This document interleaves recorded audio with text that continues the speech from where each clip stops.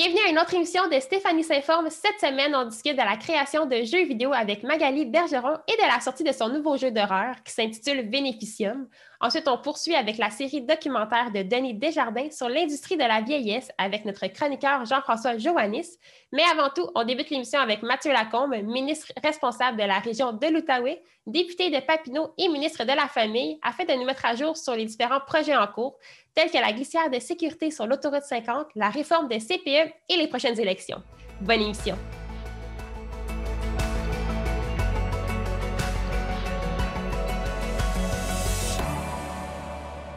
Merci beaucoup, M. Lacombe, d'avoir accepté notre invitation et de prendre de votre temps pour discuter avec nous. Mais j'aimerais tout d'abord savoir comment vous allez présentement.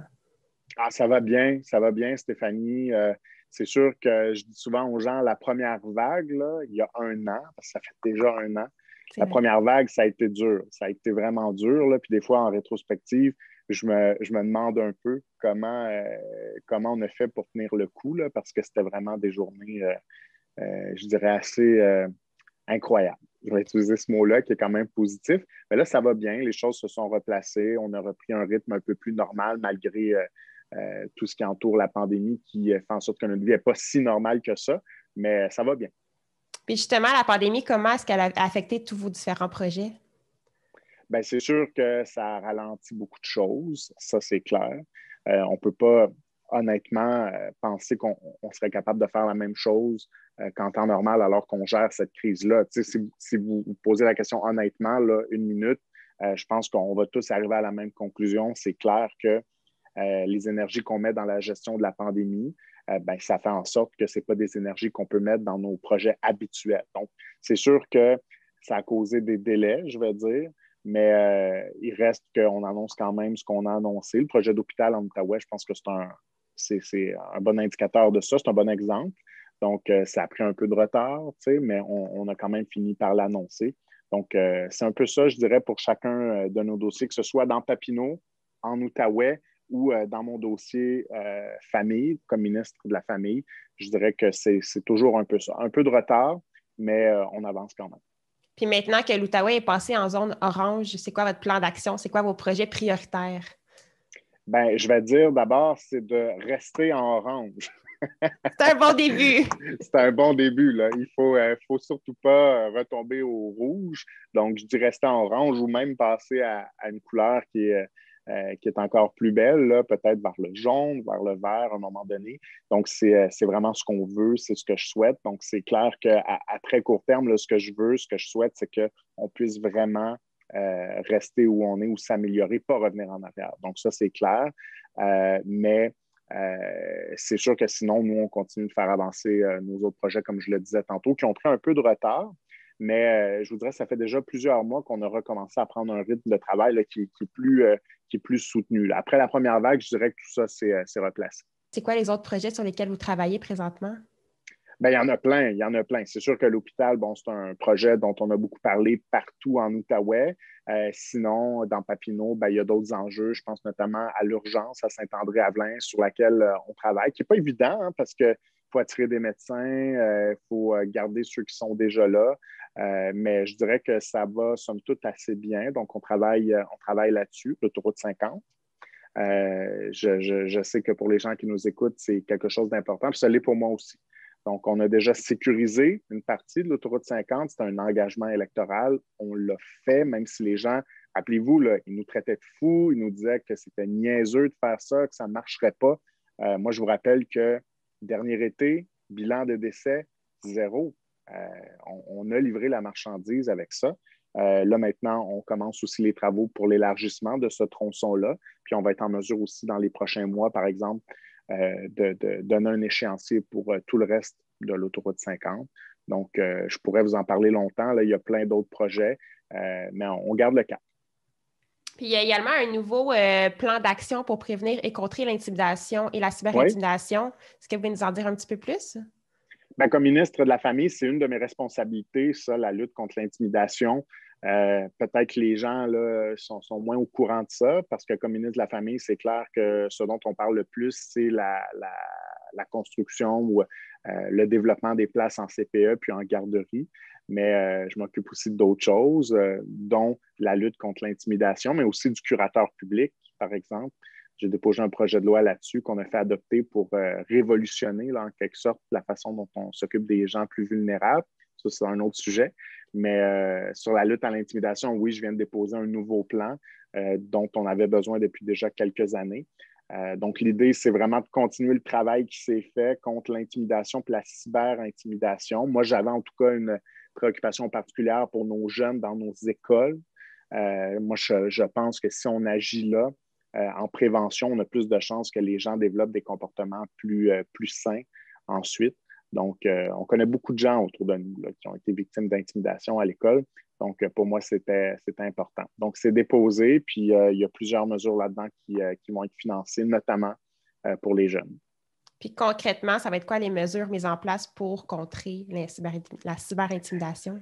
Bien, il y en a, il y en a plusieurs, notamment on, reconduit un programme ensemble contre l'intimidation qui vise à financer des projets dans les écoles. On pense par exemple à une pièce de théâtre, c'est un des projets qui a été mis sur pied. On pense euh, sinon, euh, au travail qu'on fait avec les corps policiers pour prévenir la cyber-intimidation, le partage, par exemple, d'images intimes. Ça, c'est intéressant. À Gatineau, il y a eu une euh, grosse campagne. Je ne sais pas si vous vous rappelez.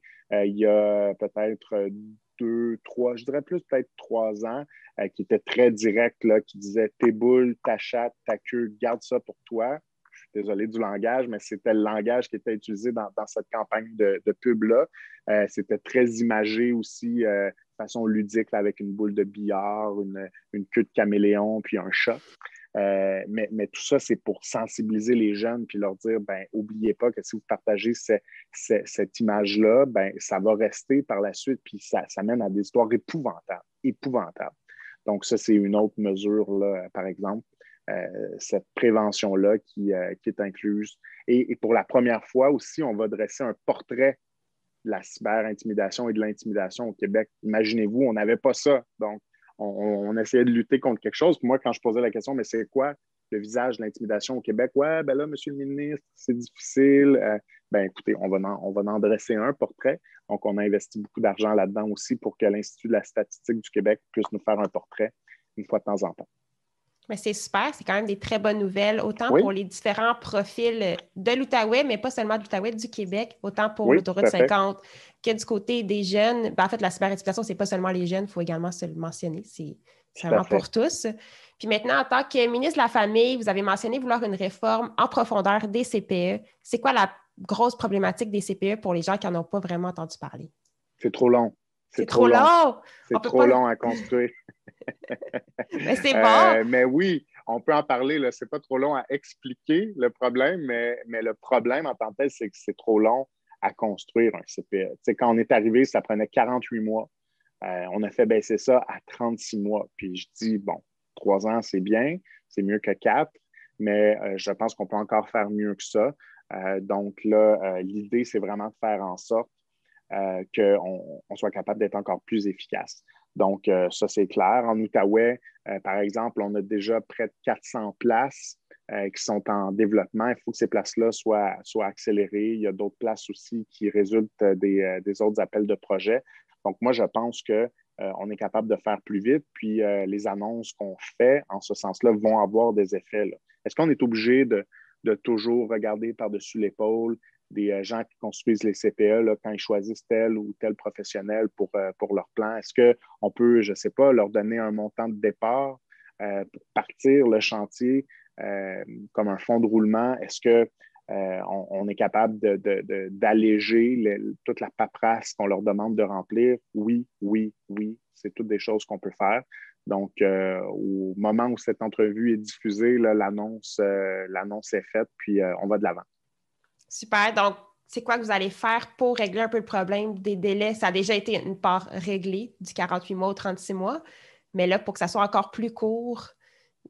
Bien, ça prend des mesures d'allègement, c'est clair. Puis euh, au moment où on se parle, l'annonce, elle est faite. Donc, ce que ça veut dire, c'est qu'on passe, euh, par exemple, de 17 étapes à quelque chose comme 9 étapes. Donc, ça va vraiment faire toute une, une différence pour les promoteurs.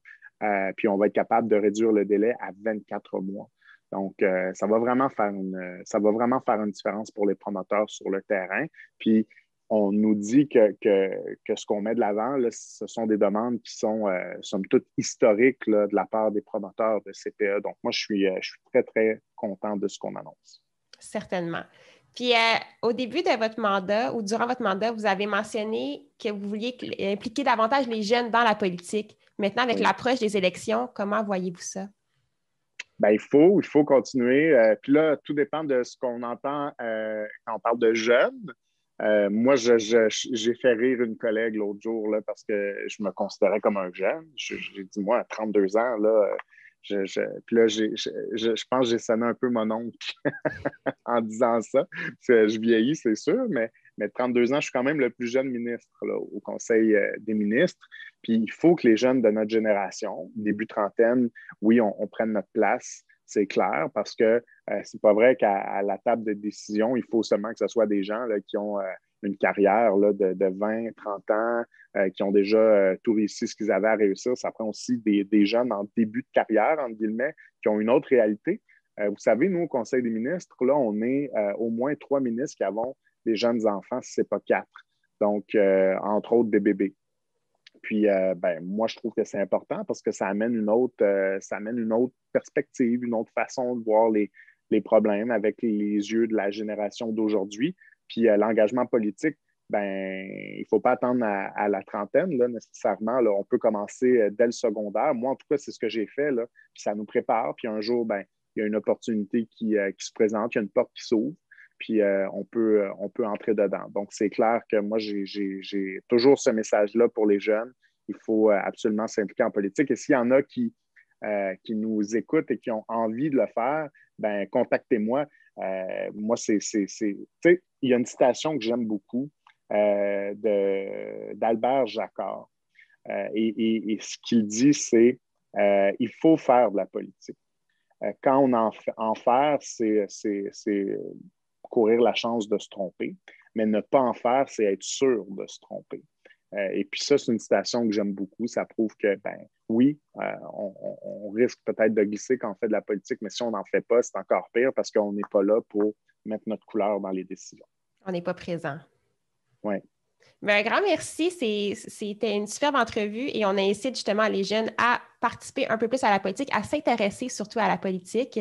Puis pour les gens qui aimeraient avoir plus de détails sur les projets qui se passent présentement, sur quelle plateforme qu'on peut les retrouver? Ben, les gens peuvent euh, assurément venir sur ma page Facebook. donc, ça, c'est clair. Euh, en tapant Mathieu Lacombe, ils, vont, ils vont retrouver. Habituellement, il y a, il y a vraiment, je dirais, une bonne, euh, un bon aperçu de tout, de tout ce qu'on fait comme travail. Puis sinon, ben, les gens peuvent toujours communiquer avec moi, soit par courriel ou encore en téléphonant au bureau de circonscription. Puis ça nous fera plaisir de leur donner un coup de main avec leurs enjeux ou de leur expliquer nos projets. Ben, un grand merci d'avoir été parmi nous. Et maintenant, tout ce qu'on souhaite à l'Outaouais, c'est de continuer dans la lignée de la zone orange et d'aller encore dans des couleurs plus claires. Donc, merci Tout à beaucoup. fait. Bonne fin de journée.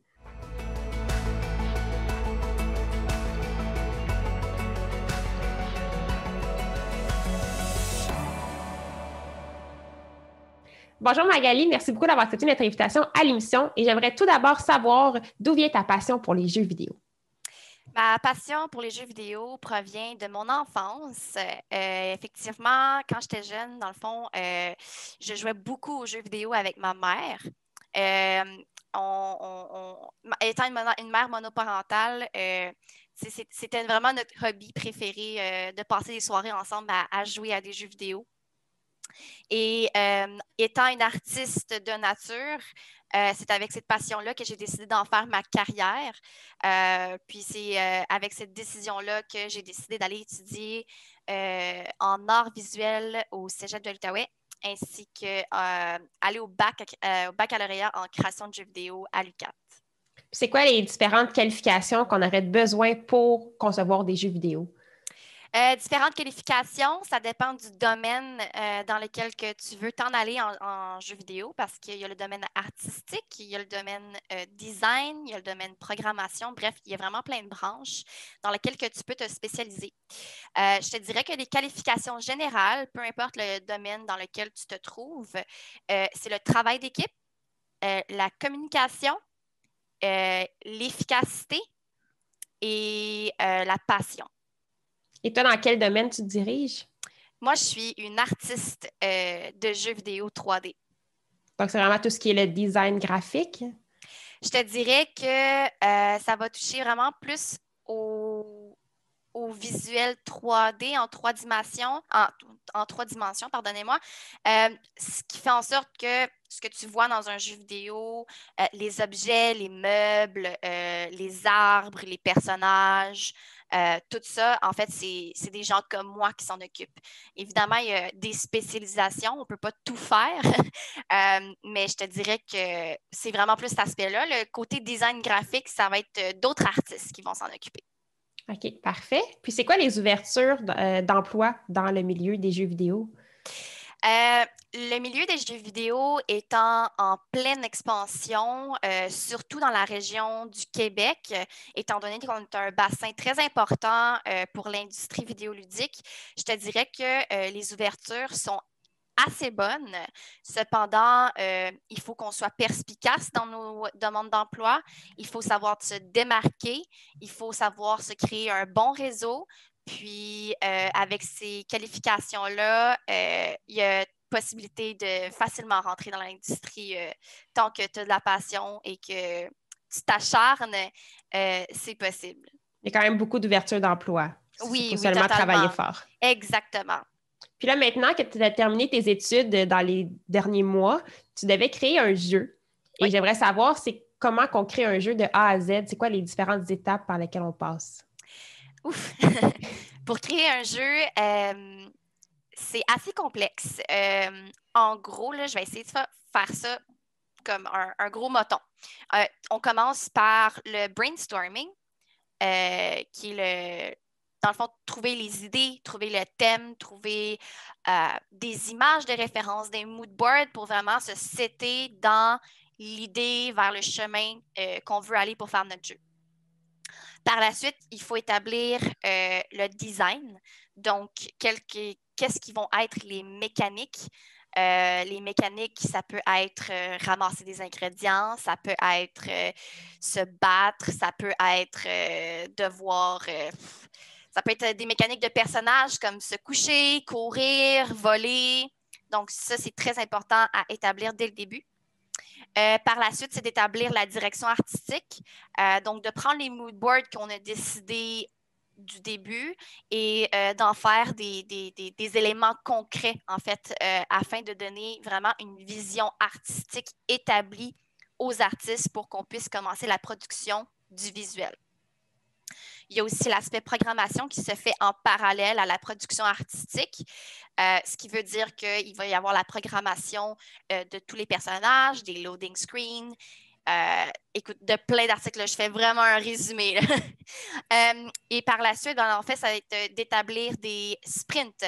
Ça va être d'établir des buts à remettre à chaque deux semaines, à chaque mois, à chaque semaine ça dépend de l'équipe, ça dépend du temps que tu as aussi. C'est de déterminer le temps que tu as pour réaliser un jeu.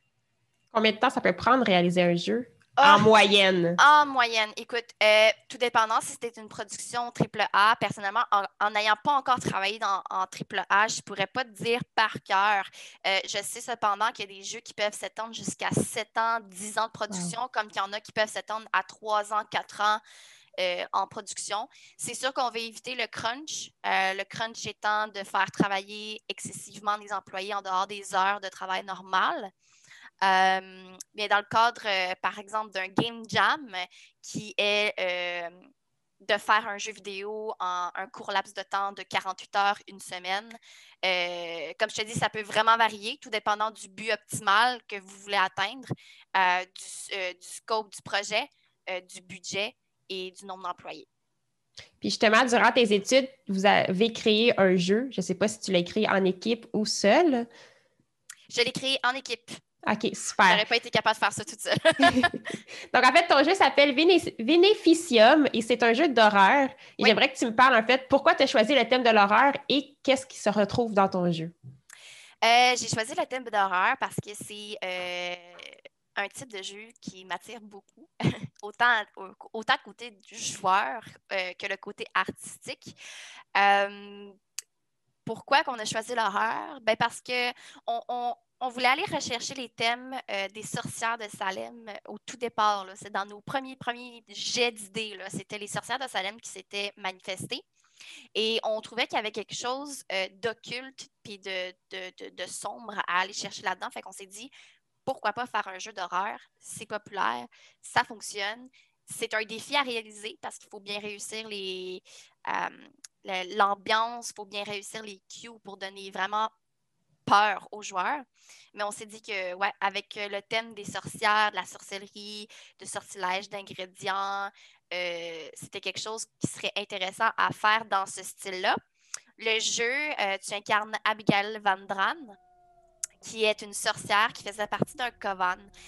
sa grand-mère, sa grand-mère, pardonnez-moi, se fait capturer et elle doit la retrouver dans les bois sombres lugubre. Et dans ces bois-là se cachent des créatures qui sont très, très dangereuses, très, très terrifiantes. Et pour pouvoir réussir à survivre à la forêt et à ces monstres-là, tu dois ramasser des ingrédients dans ton environnement euh, et lancer des sortilèges euh, qui vont t'aider à échapper à l'attention de, ta créature, de la créature qui t'attaque. Donc, c'est uniquement se cacher, euh, utiliser ses sorts à son avantage. Donc, c'est du stealth. Il n'y a pas de combat. Et tu progresses dans l'environnement comme ça. De survivre, en fait. Oui, exactement. Et sur quelle plateforme qu'on peut jouer à ton jeu, à votre jeu, à toi et ton équipe? Euh, notre jeu est disponible sur PC euh, via Steam. Dans le fond, c'est l'application Steam. Il est gratuit, donc free to play. Euh, et oui, dans le fond, c'est très facile. Tu le downloads et tu peux commencer à y jouer dès que le download est fini vis-à-vis -vis Steam. Bien, super, un grand merci d'avoir accepté notre invitation et on invite tous les gens à essayer votre jeu et à nous donner des commentaires également si vous avez apprécié le jeu. Et maintenant, on va poursuivre avec la chronique cinéma de Jean-François. Merci.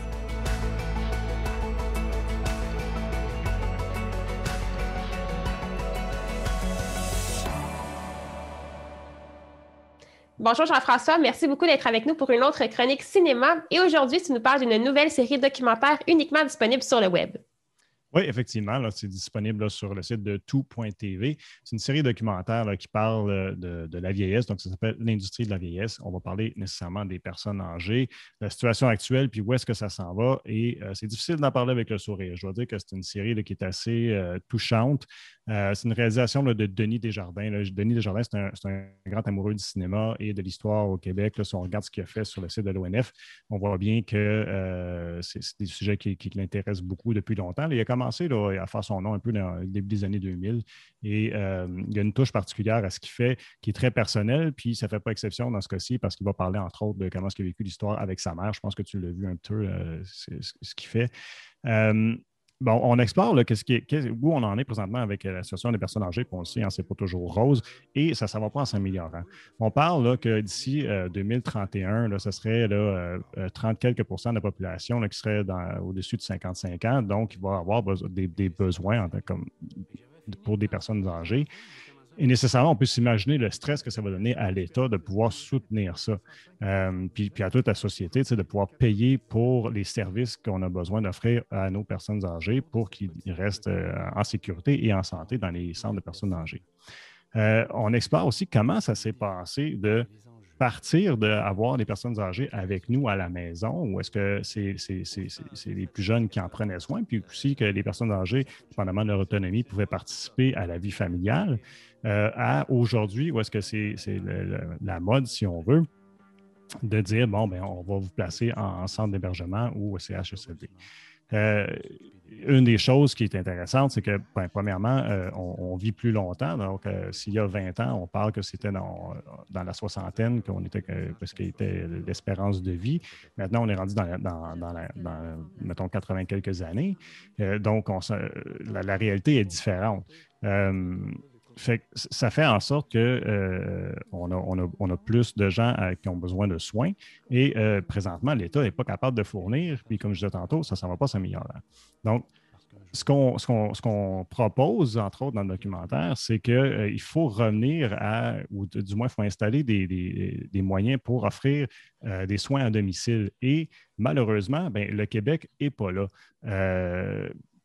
pourquoi offrir des soins à domicile? Ben, c'est que euh, c'est une meilleure qualité de vie pour les personnes âgées. On dit que les, problèmes de santé que les personnes âgées vont vivre, c'est davantage des problèmes cognitifs que des problèmes physiques. Et le stress de déménager, de partir de son milieu dans lequel il est accoutumé, dans lequel il connaît son environnement, et de partir dans un centre euh, à l'extérieur, euh, ben, ça n'aide pas à, leur situation.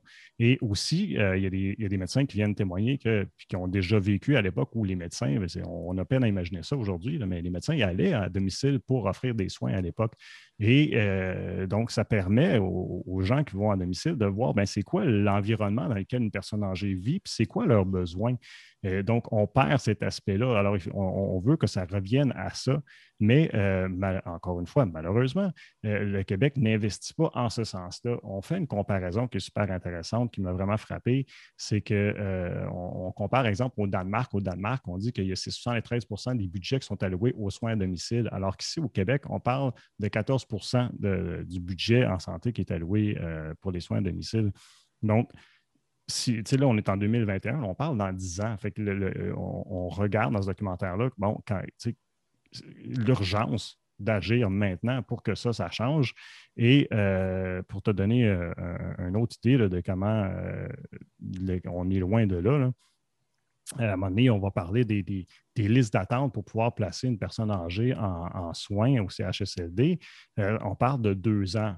Mais une fois que ton deux ans est passé, puis qu'à un moment donné, tu reçois un appel, c'est tellement, il y a tellement de monde dans, la liste d'attente qui te donne 24 heures pour déménager une personne. Donc, tu peux imaginer le stress que ça peut apporter à un parent. Imagine-toi avec ton parent, tu dis OK, ben euh, maman, papa, il euh, faut qu'on déménage d'ici les prochaines 24 heures. C'est tout un changement de vie, c'est inhumain. Euh, on, va voir cet aspect-là, cette, triste réalité-là dans le documentaire. C'est vraiment euh, déchirant de voir comment, où on en est rendu. Euh, chapeau à, Denis Desjardins pour avoir fait cette série-là. Moi, je la recommande fortement à tout le monde. Il faut qu'on soit sensibilisé à ça si on veut voir des changements. Donc, encore une fois, c'est sur tout.tv. Merci beaucoup, Jean-François, pour cette série percutante qui nous amène à réfléchir sur notre avenir. Et je vous remercie d'avoir assisté à notre émission. On se retrouve la semaine prochaine pour une autre émission de Stéphanie s'informe.